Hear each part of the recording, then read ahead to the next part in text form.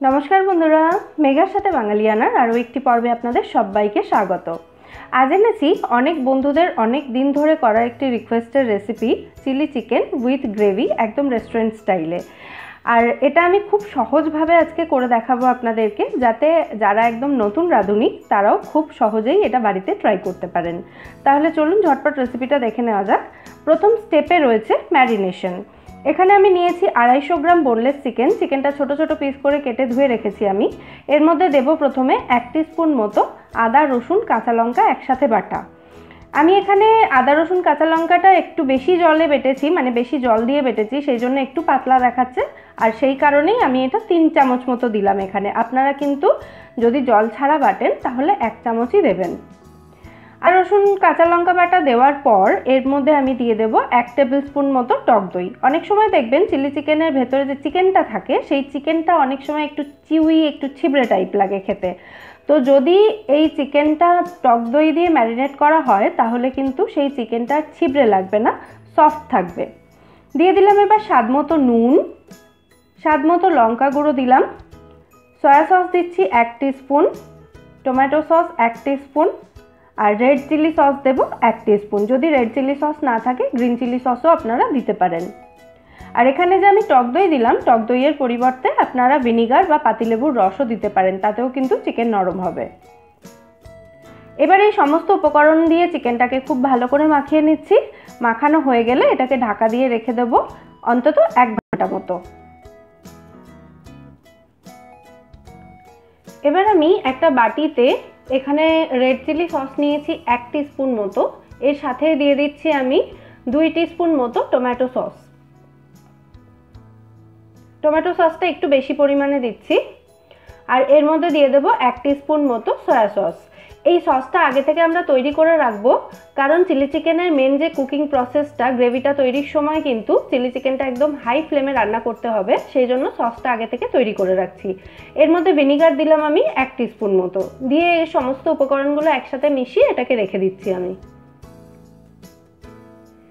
এক ঘণ্টা মতো ম্যারিনেট করার পর চিকেনটা নিয়ে আমি চলে এসেছি। এখন চিকেনটা খুব ভালো মতো ম্যারিনেট করা হয়ে গেছে। এবার এর মধ্যে দিয়ে দিচ্ছি একটা ডিমের সাদা অংশটা। পুরো ডিমটা দিলে আমার মনে হয় একটু গন্ধ লাগে, সেই জন্য আমি ডিমের কুসুমটা বাদ দিয়ে শুধু সাদাটাই এখানে দিই। তবে আপনারা চাইলে কিন্তু পুরো গোটা ডিমটাই দিতে পারেন। এরপর এর মধ্যে দিয়ে দিচ্ছি আমি দেড় টেবিল স্পুন মতো কর্নফ্লাওয়ার, আর সাথে দেব দেড় টেবিল স্পুন মতো ময়দা। চাইলে পুরোটা কর্নফ্লাওয়ারে করতে পারেন, তবে আমার মনে হয় পুরোটা যদি কর্নফ্লাওয়ারে করা হয় ওপরে কোটিংটা একটু হার্ড হয়ে যায়। সেই জন্য আমি ময়দা মিশিয়ে এটা কোটিংটা করি। এবারে সমস্ত উপকরণগুলোকে একসাথে ভালো করে মাখিয়ে নিতে হবে। এর থেকে বেশি পাতলা কিন্তু এই কোটিংটা আর হবে না, তাহলে চিকেনের গায়ে সেটা আটকাবে না। সেই জন্য এরকম ঘন কোটিংটাই তৈরি করতে হবে আমাদেরকে। এরপর আমরা চিকেনটাকে ফ্রাই করে নেব। তার জন্য আমি একটা কড়াইতে সাদা তেল দিয়ে দিয়েছি বেশ খানিকটা পরিমাণে। তারপর এই যে মাখানো চিকেনটা একটা একটা করে পিস এইভাবে দিয়ে চিকেনটাকে ভালো করে ফ্রাই করে নিচ্ছি। আগে কিন্তু দেখে নিতে হবে তেলটা ভালো করে গরম হয়েছে কিনা, কারণ তেল ভালো করে গরম না হলে কিন্তু এটা ভালো করে কোটিংটা চিকেনের সাথে আটকাবে না। চিকেনটা দেওয়ার পর এভাবে বারবার উল্টে পাল্টে একদম লাল করে ভেজে তুলে নিতে হবে। দেখুন চিকেনের উপরে সুন্দর একটা কোটিং তৈরি হয়েছে। আর ফার্স্ট ব্যাচটা আমাদের ফ্রাই করা হয়ে গেছে, এটাকে আমি তুলে নিচ্ছি।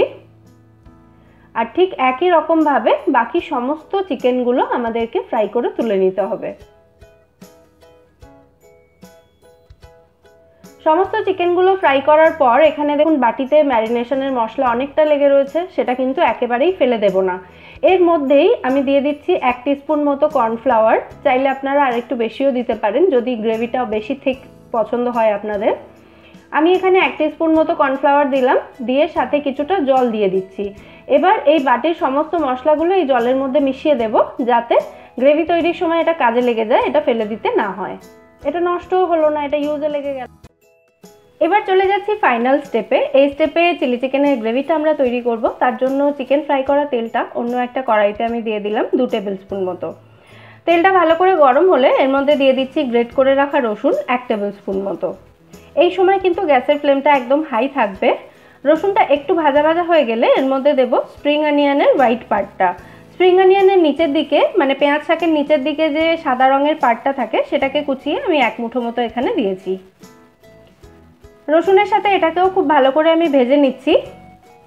তারপর এর মধ্যে দিয়ে দেব পেঁয়াজ আর ক্যাপসিকাম। পেঁয়াজ এবং ক্যাপসিকাম, আমি একটা মাঝারি সাইজের পেঁয়াজ এবং একটা মাঝারি সাইজের ক্যাপসিকাম নিয়েছি। আর এই পেঁয়াজ আর ক্যাপসিকামটাকে এইভাবে একটু বড় বড় সাইজ করে কেটে নিয়েছি। দিয়ে দিচ্ছি এখানে কাঁচা লঙ্কা কুচি। যে যেমন ঝাল পছন্দ করেন, সেই অনুযায়ী এখানে কাঁচা লঙ্কাটা দেবেন। রেস্টুরেন্টে চিলি চিকেনে দেখবেন একটা সুন্দর লাল রং থাকে। তো ওরা হয়তো সম্ভবত রং ব্যবহার করে তাতে। আমি এখানে রং দিচ্ছি না, আমি দিচ্ছি কাশ্মীরি লাল লঙ্কার গুঁড়ো। এটা কিন্তু একেবারেই অপশনাল এটা ছাড়াও আপনারা করতে পারেন। লঙ্কা গুঁড়োটা এভাবে একটু ভেজে নিচ্ছি, যাতে কালারটা খুব সুন্দর আসে।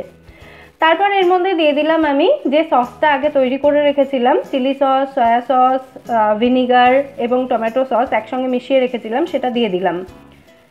সমস্ত উপকরণগুলো মিশিয়ে 30 সেকেন্ড মতো একটু নাড়াচাড়া করে নিলাম হাই ফ্লেমে তারপর এর মধ্যে দিয়ে দেব যে কর্নফ্লাওয়ারগুলো জলটা রেখেছিলাম আমি, সেই জলটা।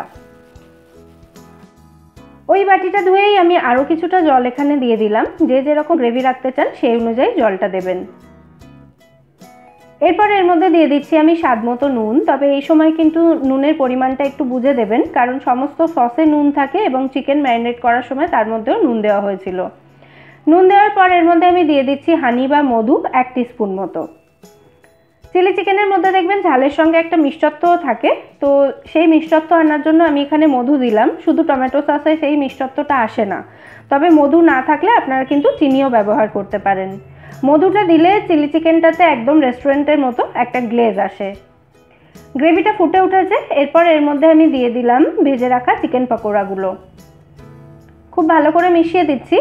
আর চিকেন পাকোড়াগুলো ফ্রাই করার সময়ই এটা সেদ্ধ হয়ে যায়, সেই জন্য গ্রেভিতে দেওয়ার পর খুব বেশিক্ষণ রান্না করার কিন্তু প্রয়োজন হয় না।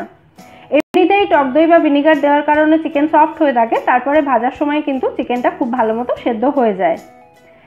নামানোর আগে জাস্ট এর মধ্যে দিয়ে দিচ্ছি আমি এক মুঠো মতো স্প্রিং অনিয়ন কুচি।